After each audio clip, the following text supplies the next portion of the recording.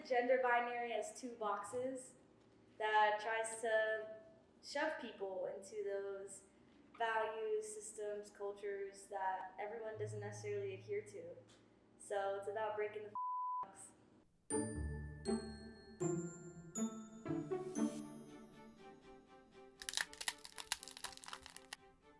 Gender is the uh, system for describing one aspect of human experience um, that may have to do with sexuality, reproduction, love, romance, and eroticism, parenting, and work, and family, uh, which, as you can see, is almost everything.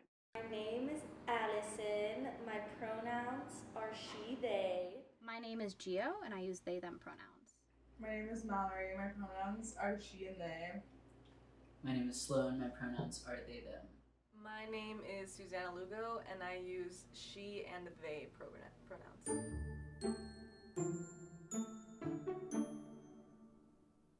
Like it kind of feels like dual citizenship. Like if you spent like half of your life in like some completely different country that was vastly uh, culturally different, and then half your life in America, and you were asked to choose which one you were, like you wouldn't. You'd be like, I'm both. I have dual citizenship, or you know, I feel like a third culture entirely. I feel like I'm experiencing something new and different and unique. As I've always loved dressing up. I've always loved dressing up. Um, and as a kid, I would want to dress up as all my favorite characters, and some of them were guys, and some of them were gals, and um, if I dressed up as a girl, nobody ever batted an eye, but if I dressed up as a boy, when I was younger, it was more acceptable, but then as I got older, people, I guess, started to question that. And for me, it, dressing up is an opportunity to go and be the, the person that I want to be myself um, in a different form. So if I dress up as Peter Pan, I'm still me, I'm still Susanna, but I'm also Peter Pan. I'm like, this is what I like about cosplay in particular versus just costuming, is that you kind of get to role play that character, you get to imagine yourself in it. And I understand my gender in a very similar way. Like every day I dress up. Everyone's always dressing up. Everyone's always performing. But every day I dress up and I perform a particular gender.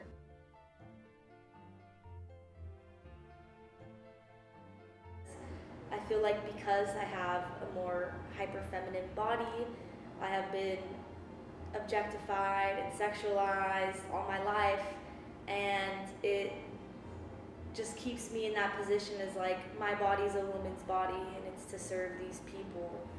But it's not. So thinking about my body now like as a vessel has just really helped me kind of just like be neutral about it. I don't know. I have what I call social dysphoria.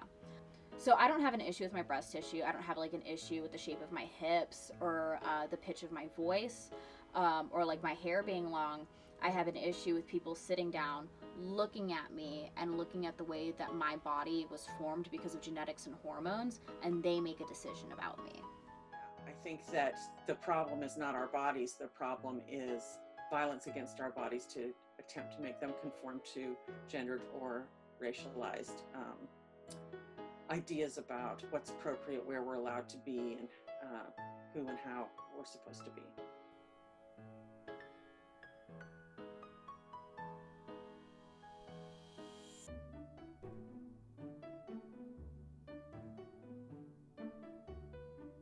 Dance for me is obviously, you know, another way of expression, but it's just so like intimate and because it's with my body and my body is my instrument i feel like i can better navigate the way that i'm like feeling especially like in terms of like my body and the way that i see it. I feel like dance is really a way to either question challenge or validate those ideas that i have about myself so something that i explored when i was going through um, a treatment earlier this year is after every treatment I would do a self portrait. And it was like interesting because like I could look at myself and like I could take a picture of myself, I could take a selfie and then I could paint it and I could draw it. And you know, I could see like, oh, like this is who I am. my gender is like part of everything that I do and like every part of like my identity because it's who you are. It's a big chunk of who you are.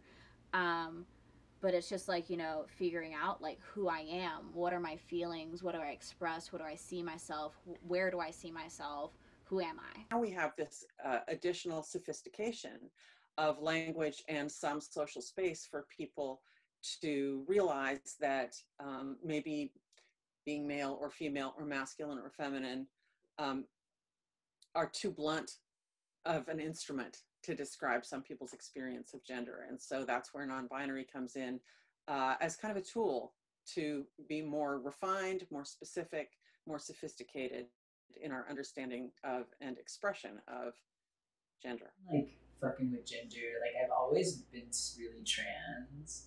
Like I was I'm hashtag AFAB. So like when I was a little kid, I was like very much like playing the role of boy, like since I was little. Um, and I was like I identified as like a trans man for a hot minute before I was like, wait a second, that's.